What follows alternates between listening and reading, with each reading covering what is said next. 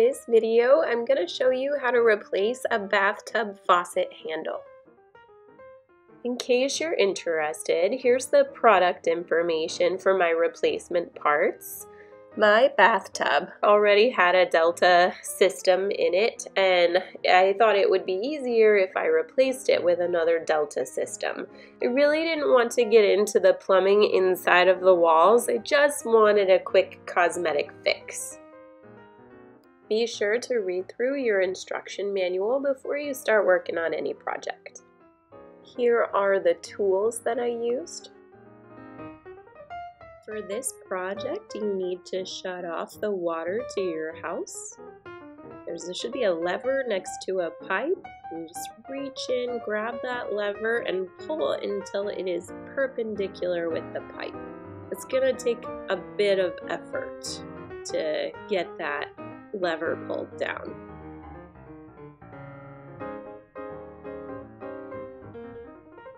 Then you're going to want to open up some of your faucets around the house and just let the water run until it stops and then you'll be ready to go. Before you start working in your bathtub, make sure that you either close your drain or put something over top of it so nothing falls down there. In order to take off the handle, you're going to have to get access to the little screw that's underneath the cap. Here's a close-up of the bathtub handle, and I'm just sticking a pokey object into these two little notches so I can kind of pry that little cap off. It can be a little stubborn, so keep prying a little bit at a time until it pops off. Next, you need to untwist that screw so that you can get the handle off. It's a little easier if you hold the handle in place with one hand and twist the screwdriver with the other. Then, just grab that handle and pull it right off. With the handle out of the way, now you should be able to access the screws that are holding the faceplate onto the wall. Here's an up-close picture of where those two screws are located. If you have a different type of faucet than a Delta, say you have a Moen for example, your screws might be located in a different place.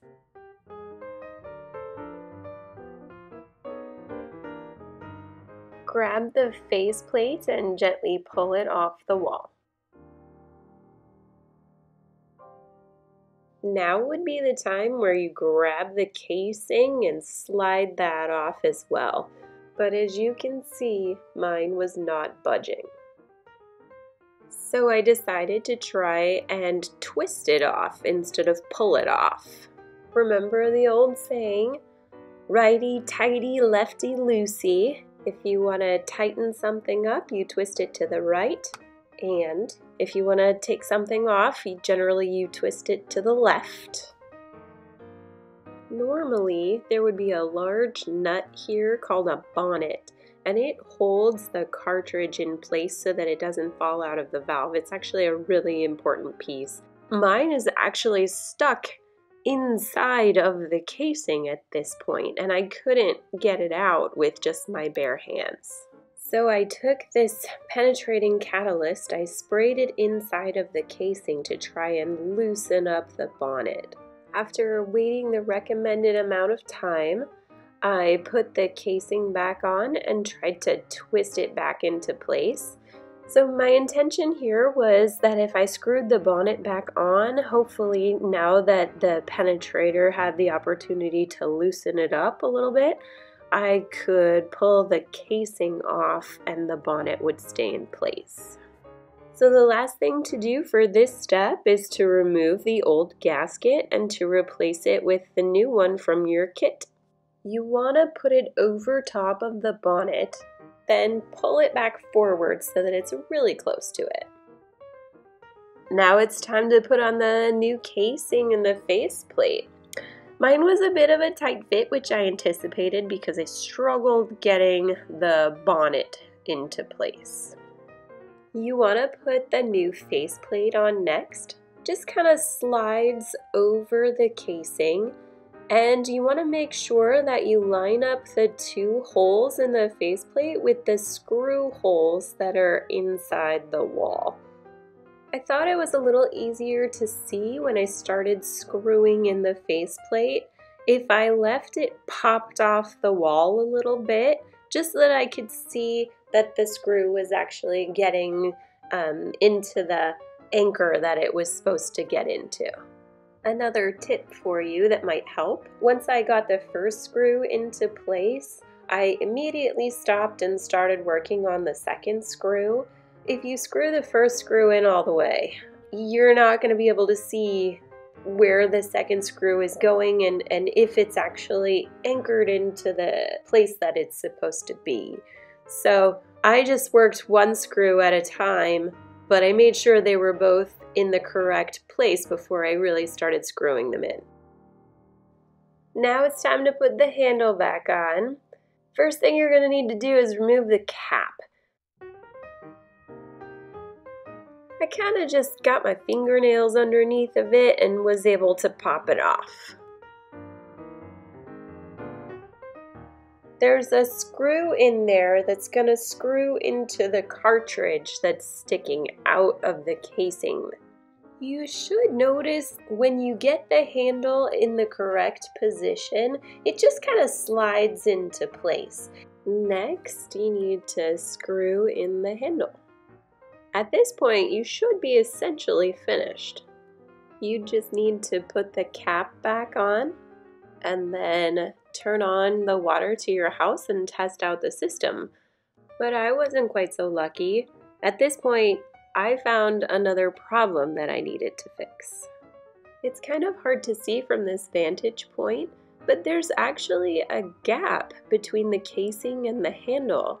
And when I moved the casing forward to try to fix it, I created another gap between the faceplate and the casing once I took a look at the difference between the old casing and the new casing, it was pretty obvious that the older one was a bit longer than the new one, and the new one just wasn't long enough to cover the distance from the handle to the faceplate. So I needed to come up with a solution to that problem. So I took everything off in, in reverse order. I was expecting that since I was replacing a Delta faucet with another Delta faucet, that the specs would match up and that everything would be all right, but I guess it was kind of ridiculous of me to make that assumption. Now I know. My first thought was to try and buy a replacement part just for the casing, but it's really hard to find just that particular piece in the finish that you want so I tried to come up with something else. Since the old casing was exactly the length that I needed, I decided to use some spray paint that I had left over from a previous project and see if I could spray paint the old casing to make it match the new faceplate and handle. I used two coats of a spray paint that gave me an oil rubbed bronze finish and then I put on one coat of a sealer so that I could protect the paint job. Make sure that you wear a mask when you work with sprays. After the casing was all dry, I started installing the faucet again. I was really happy with how it turned out. Honestly, it was almost a perfect match between the product itself and my spray paint job. It looked pretty good.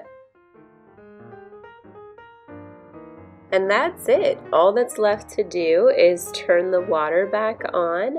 Two things to keep in mind when you're doing this is that you want to make sure that you have an open faucet running somewhere in your house and you also want to turn the water back on somewhat slowly. If you turn the water back on too fast, there is a potential that it could cause some damage to your pipes, so go slow.